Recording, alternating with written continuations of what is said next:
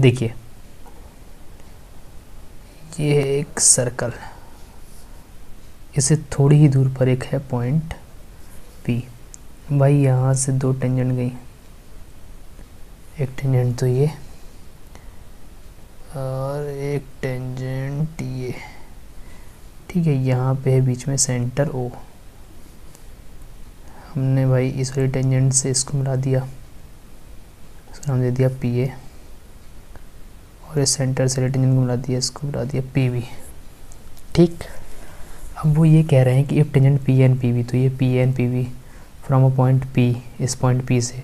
To a circle with centre O और incline teacher eighty degree ये दोनों एक दूसरे से कितने डिग्री पर मिलती हैं? एट्टी डिग्री पर मिलती है। ठीक है? तो इस बात को ध्यान रखना कि जब भी हम इसको डिवाइड करते हैं तो ये दोनों ट्रायंगल कॉन्ग्रेंट होते हैं। कॉन्ग्रेंट होने से क्या होता है? कि भाई ये टोटल एंगल कितने डिग्री का एट्टी तो हाफ़ हाफ़ में डिवाइड हो जाएगा। तो ये फोर्टी ये भी फोर्टी अब भी मैंने आपको बताया था कि अगर इसके पहले वाले क्वेश्चन बताया था मैंने, नहीं देखा तो आप देख लेना कि भाई दो आमने सामने के एंगल जब ऐसी कंडीशन हो तो दोनों एंगल का सम कितना होता है? वन एट्टी डिग्री मतलब ये वाला एंगल कितने डिग्री होगा भाई? हंड्रेड डिग्री होगा कि नहीं होगा?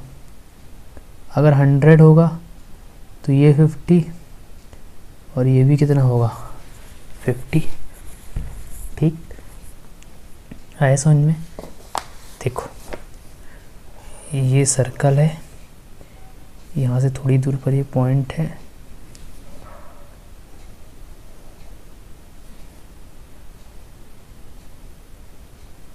ठीक है, मैंने बोला ये वाला एंगल 80 डिग्री कितने डिग्री 80 तो भाई ये वाला एंगल 100 डिग्री होगा कि नहीं होगा? क्यों? क्योंकि दोनों एंगल को ऐड करने पर 180 आना चाहिए। यह भी हमने लास्ट वाले इसमें सीखा था। अब ध्यान से देखो, अगर मैं इसको हाफ़ कर दूँ तो ये वाला एंगल कितने डिग्री हो जाएगा भाई? हाफ़ हो जाएगा हंड्रेड का हाफ़ फिफ्टी हंड्रेड का हाफ़ फिफ्टी तो वही तो हमसे पूछा है तो ये आ गया हमारा आंसर कितना? फिफ्टी खत्म। ऐसे इसको सॉल्व कर लेना है।